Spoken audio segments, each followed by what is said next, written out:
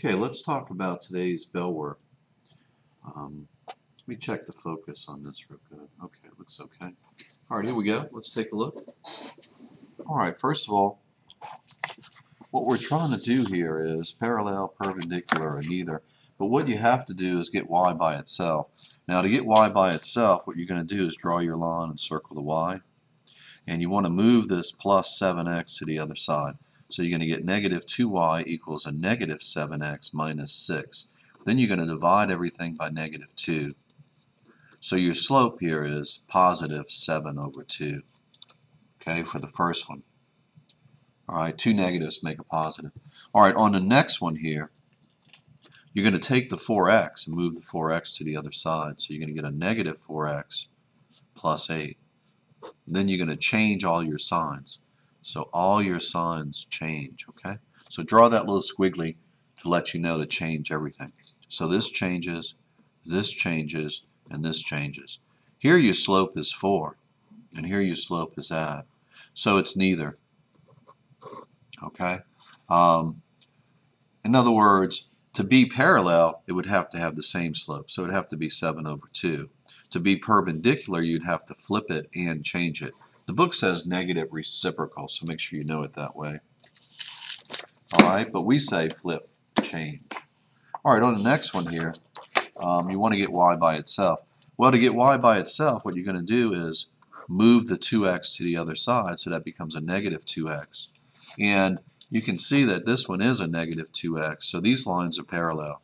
Okay. In order to be perpendicular, you would have to do negative 2 and then flip it and then change it. So perpendicular would actually be that. Now one thing I want to point out to you too is this. If the slope is 1 for one of them, to be perpendicular it would be a negative 1 because you'd have to flip the 1 and then change it. Okay, make sure you know that. That 1 flipped and changed is a negative 1. It's a little tricky, but I want to point that out to you.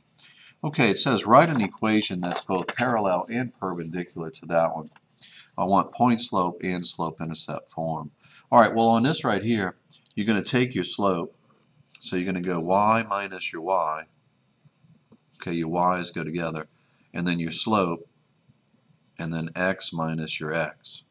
Okay, so in that particular case, um, this is point slope. Now you technically could change that to a plus. All right. So now to get it in, so that's one answer. To get it in slope-intercept form, you're going to move the 7 to the other side and distribute. Okay, So you're going to get 3 over 4x. Put a 1 underneath here.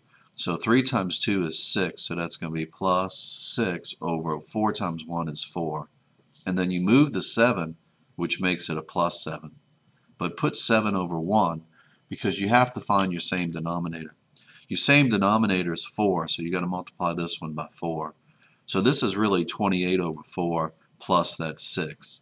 So that's going to be, I guess it's 34. So your final answer to be in perpendicular, or rather slope-intercept form, would be 3 over 4x, and then plus um, 34 over 4.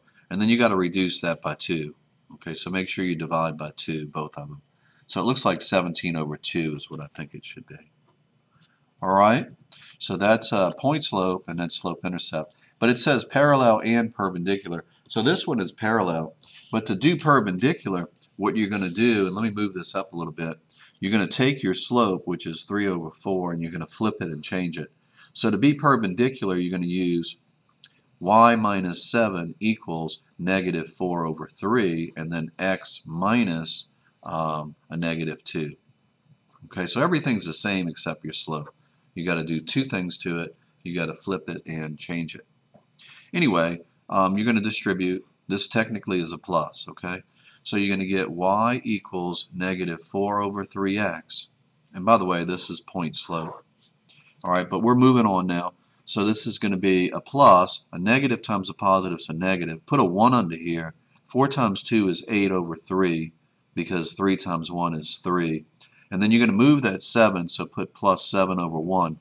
Your least common denominator is 3, so you want to multiply by 3. So that's 21 minus 8. So 21 minus 8, I think, is 13. So the final answer is going to be y equals negative 4 over 3x. minus, um, or rather plus 13 over 3. And that is perpendicular in slope-intercept form. And these are all things you need to know how to do. Um, let me just boost that up just a little bit bigger so you can see it. Okay. All right. So uh, I think that's pretty much it. What does regular mean? Well, regular means that the sides are equal and that the angles are equal or congruent. Okay?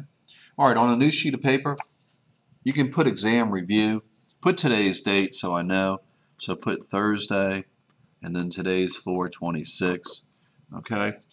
And uh, put a, let's see, A, B, C. Put a D for Thursday. Okay? All right, so here we go. Um, exam review, some more problems. Now yesterday, uh, I may have uh, given you the wrong formula on this, so I want to go ahead and correct that, all right? Now here's how you do this. What you're going to do after you draw this figure, you can see that the apothem is 6. So what you want to do is make a triangle here. Now, there's two ways you can do it. To get this angle right here, you're going to first figure out what one of these is. Okay, so you got to do the whole thing. Now, yesterday, um, I might have given you the different formula and uh, the, the real formula that we should be using is this one. So put n minus 2 times 180 and you got to memorize that. Plus you got to remember that area of a regular polygon equals 1 half AP. Alright, I know I gave you that one. Alright, so here we go. So pay attention. What we're going to do here is um, we need to figure out what x is so that we can double the x to get the side because we need the side to get the perimeter. We have the apothem, okay? So all we need is the perimeter. So we got to find x. The way we're going to do that is this thing has five sides. So n represents the number of sides. That is an EOC question. Make sure you know that. So n represents the number of sides. In this case, you have five. So it's 5 minus 2, which is 3 times 180. And I think 3 times 180 is 540. Uh, let's verify that to make sure. So 180 times 3 is 540. So all of these angles inside of here add up to 540 degrees. All of these big, big ones, okay? But what we want to do is divide by 5, because there's 5 sides, and then split it in half because we only want half of it. So divide by 5 and then divide by 2, and you should get 54 degrees. So this inside angle here is 54 degrees. You could figure out that upper angle if you want to by subtracting from 180, but you don't need it. Okay, so let's figure out what x is using uh, trigonometry. Okay, so if you're standing here, this is opposite over adjacent. So put the tangent of 54 degrees equals opposite over adjacent.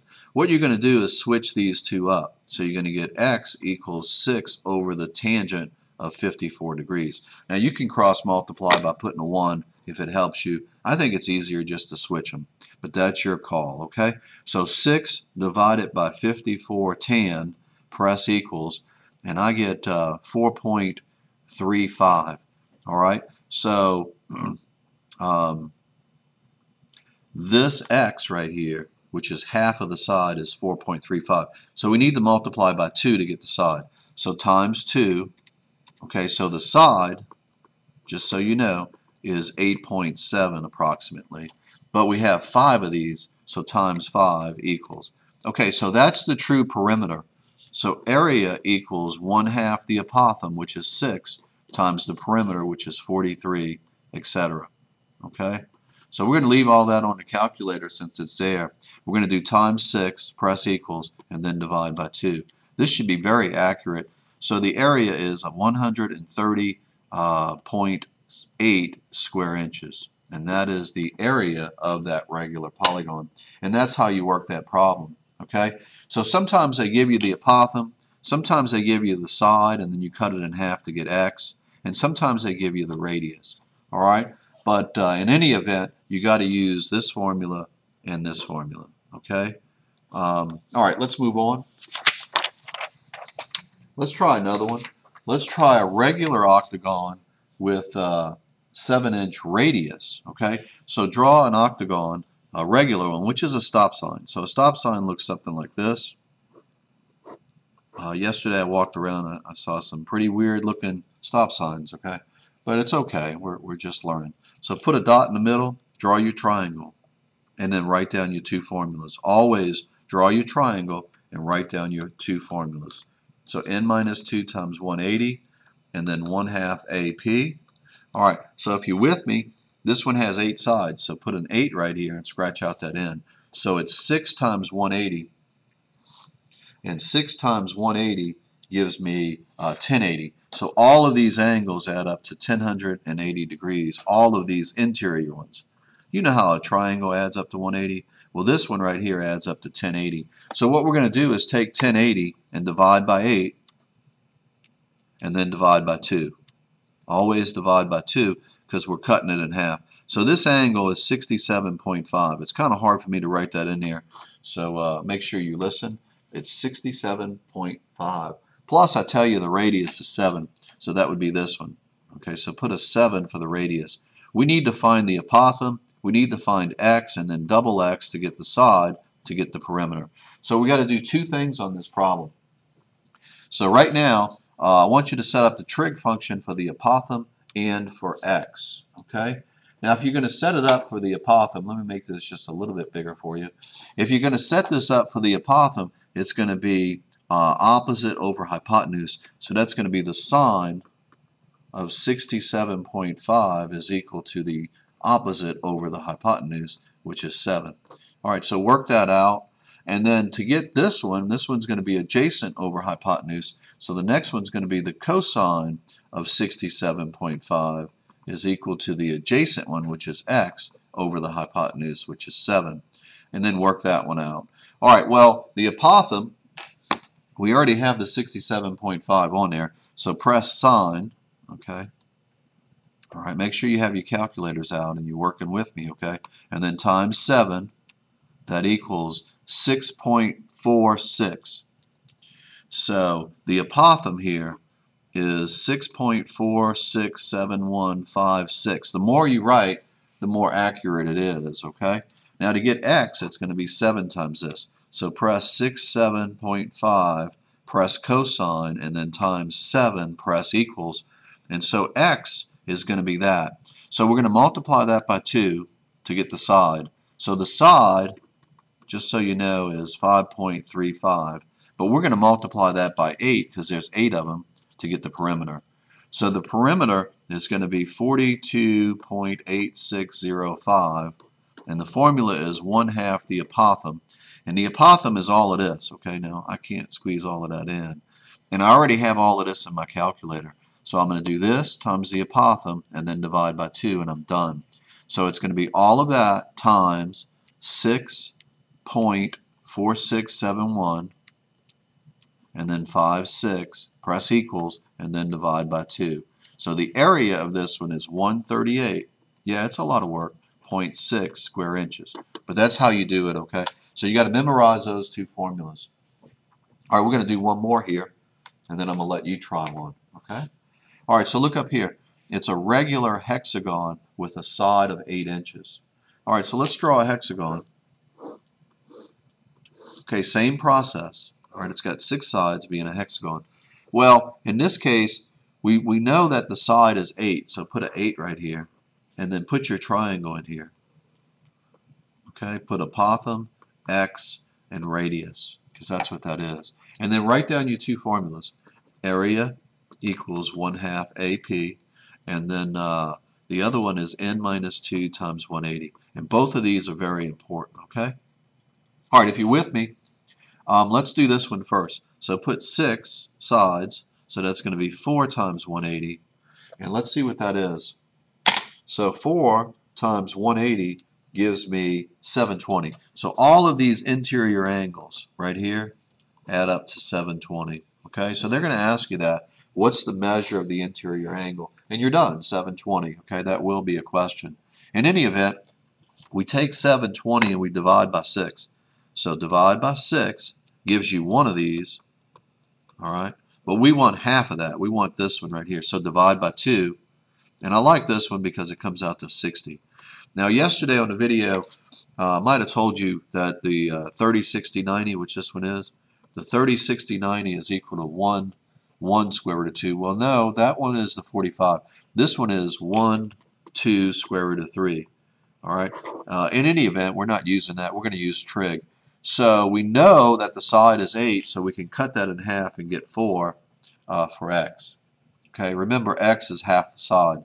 So to get the apothem, we're going to do, uh, stand here, we're going to do opposite over adjacent. So it's going to be the tangent of 60 degrees equals opposite over adjacent. So A, the apothem, which is what we need, we're going to take 60 tangent and then times A, or rather times 4 rather, press equals, and we're going to get that for the apothem. So we're going to multiply the apothem, 1 half AP, times the perimeter. All right, let's see how I'm going to do this. All right, so we already have the apothem. The perimeter, this is 8, so we have 6 of those. So times 48, which is the perimeter, okay, and then divide by 2. All right, so I get 166.2. All right, now I want you to try um, uh, a couple of them. All right, so look up here. I want you to do a regular octagon, and I want you to use the side is equal to 10, and I want you to find the area. Okay, so draw your diagram and then work that problem out. Okay, well, you know that an octagon looks like this, a stop sign, or something like that, all right? We know that the triangle looks like that. We know that the side is 10, so we want to cut that in half to 5. We're looking for the apothem. So you're going to do n minus 2 times 180. This one has 8 sides, so it's going to be 6 triangles on that. So 6 times 180, because a triangle is worth 180. So the whole thing is 1080. We had that one earlier. We're going to divide by 8 because there's 8 of these angles. Divide by 8 and then divide by 2. So make sure you divide by 2. So this angle is 67.5 degrees. So to get the apothem, you're going to do opposite over adjacent. So it's going to be the tangent of 67.5 is equal to opposite over adjacent. So the apothem, we're going to do uh, tangent of this, and then times 5, press equals, all right? So that's your apothem, and then we got the perimeter. So 8, we multiply that by 8 because there's 8 sides. So the perimeter is 80, so times 80, press equals, and then divide by 2, and you're done. So you get 482.8 square inches, okay? All right, uh, let me give you one more. Look up here. I want you to do a regular uh, pentagon. Um, let's do heptagon. Heptagon. A heptagon is a seven-sided figure, so uh, you got to try to figure that one out. I'm not sure. Let's see, seven sides. Um, well, let me give you the rest of the information. So let's say the apothem is equal to 10, and I want you to find the area and stuff. All right, so try to draw the heptagon. Remember, it's got seven sides. All right, and then your formulas and your triangle, and uh, good luck on that one.